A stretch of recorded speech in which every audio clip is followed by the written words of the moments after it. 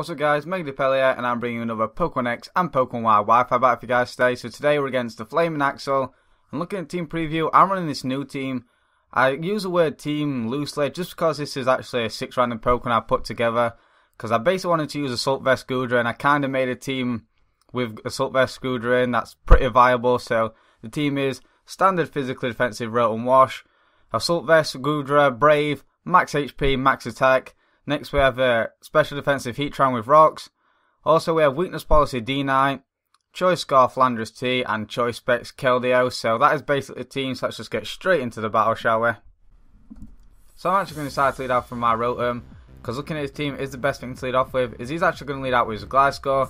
Obviously, this is a good matchup for me, so what I'm going to do is uh, predict the Protect and actually go for the Will-O-Wisp, just because I don't want to waste a, uh, a Hydro Pump. As I know he's going to go for Protect just to get his Toxic Orb activated.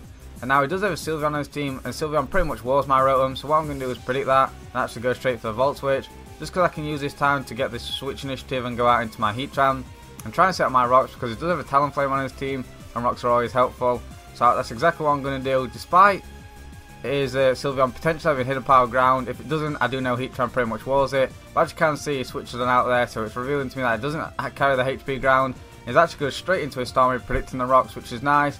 I know he did have a Starmie on his team, but uh, this way I can play around it. I can force him to spin, which is exactly what I'm going to play around now. I'm going to get the free pivot switch on into my um, Goodra. He's actually, he actually decides to go for a Scald. Thankfully, it doesn't get the burn.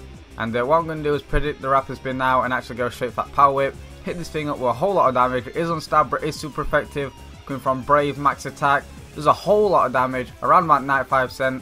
But it does live, and the leftovers does reveal that is in fact a more defensive variant of it, Starmie. So I'm actually predicting the, the Gliscor switching now to easily take that second power.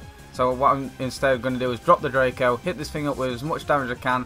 So it's around about 6%, which is really nice because we do know Gliscor is a big problem this gen. So what I'm going to do now is uh, expecting the Toxic. I'm, I'm actually going to switch it out into my Keldeo rather than my Rotom, just because I don't want my Rotom to potentially be stalled down by Toxic, but it actually goes for a Fling, which so therefore is revealing that is a Fling Acrobatic set back from 5th gen, which uh, I can honestly say this is the first time I've seen it this gen, so that's pretty nice, but at the same time uh, I do know he's running Acrobatics with Fling, and uh, he obviously revealed the Protect, so I just need to find out his final uh, move set, his final uh, move, and I'm pretty sure I can potentially wall it with Rotom Wash if it is in fact EQ, so I decided to lock myself on in, into Hydro Pump, and I, I could have easily gone for the uh, stabbed Choice Specs Hydro Pump on the uh, incoming Sylveon, but I didn't want him to protect and store more turns with the Sylveon toxic damage on my uh, Keldeo, so I'm actually going to pull a double, go back into my Heatran, and uh, potentially go for the rocks, but I'm actually predicting the Starmie to come in this time, as he's going to predict the rocks again, but he actually decides to go out into his uh, Terrakion,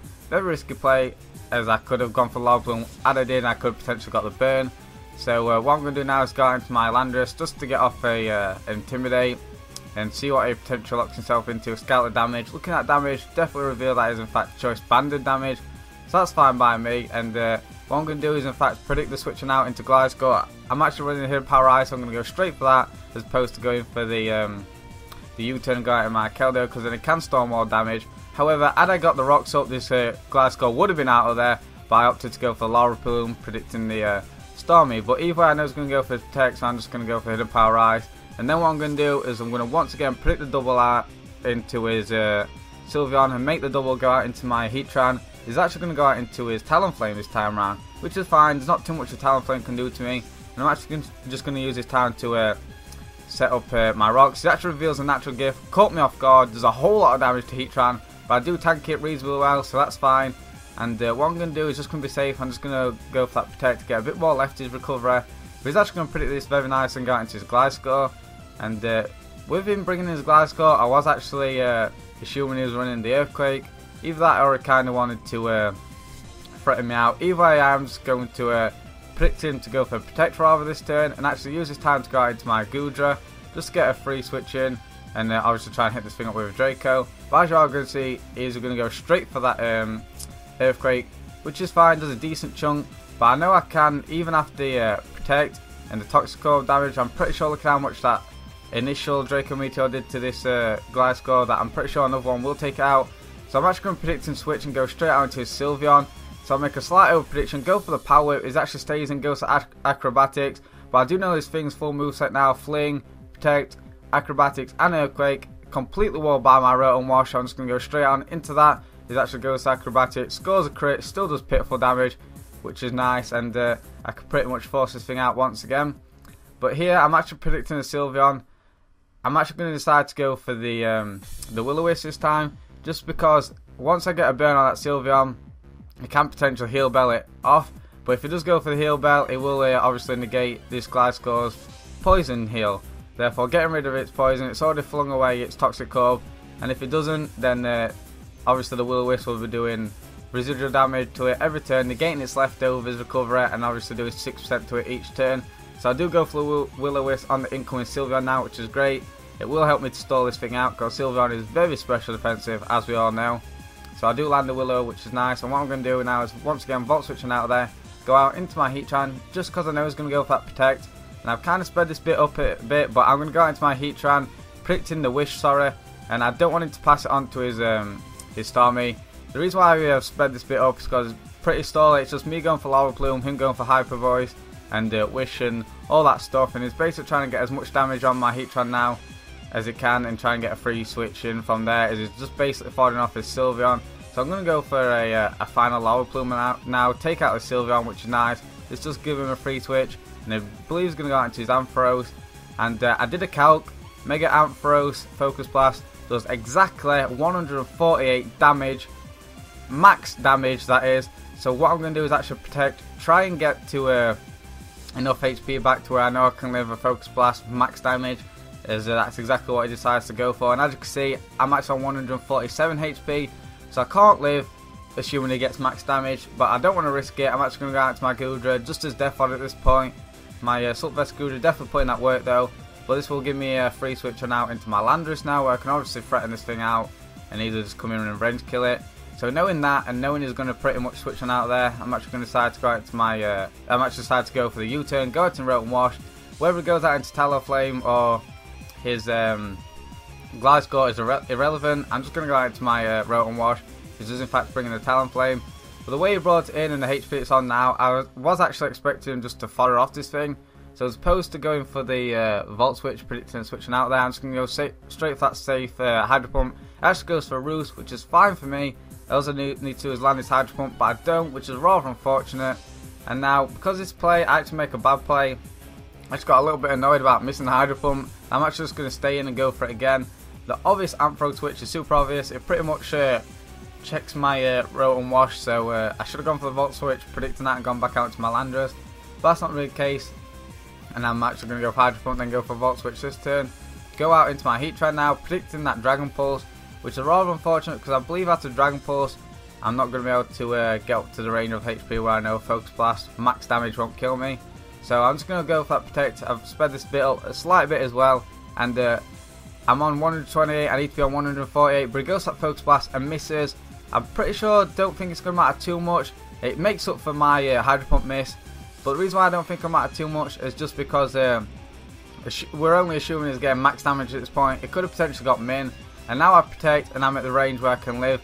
Actually misses a second Focus Blast. This one definitely doesn't matter because like I said, I can obviously... Uh, I live that and um, yeah, my I know damage is damage, but my Heatran pretty much doesn't do anything in the battle from this point on. And I roll him out into his Gliscor now. And I actually don't want to take an Earthquake, and I do did mention my Rotom Wash completely walls it, so I'm going to make that switch. It actually pulls a double into his Terrakion. Nice part of this part, predicting my Rotom Wash, but at the same time, I can't live anything from a Choice Banded Terrakion. So, uh, but either way, I don't want to take too much damage because I want to keep my Rotom fairly healthy for the likes of his uh, Talonflame and his Gliscor. I do still have my uh, Landorus just to uh, spam Intimidate, so that's what I'm going to do.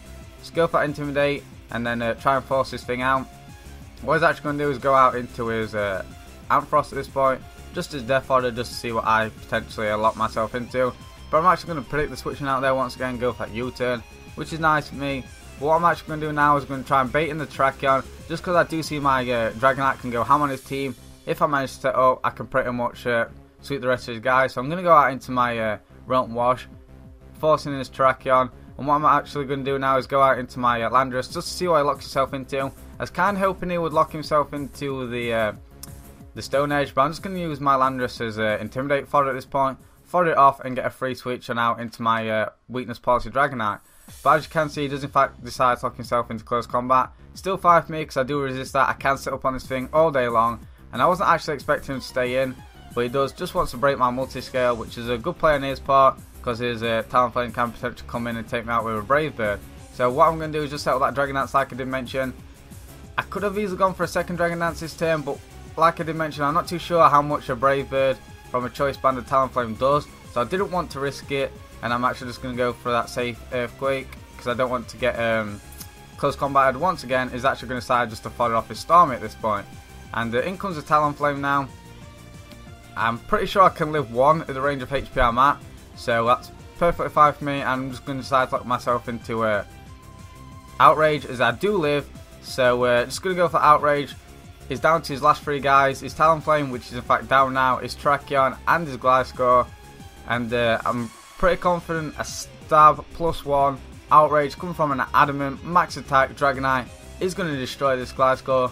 And it does completely wipe it out, which is great for me. Now he's down to his last, his Terrakion. And I do in fact score the free turn outrage. Had I not scored the free turn outrage and hit myself in confusion, then um, and lost my uh, Dragonite. And I could have easily gone out into my Rotom, lived any hit because I'm physically offensive and taking him out. So that is going to be the game. Dragonite going ham on his last four guys, sweeping up. So hope you guys enjoyed. If you did, be sure to leave a like, comment down below, of course subscribe for more. Thank you guys for watching. I'll see you guys next time.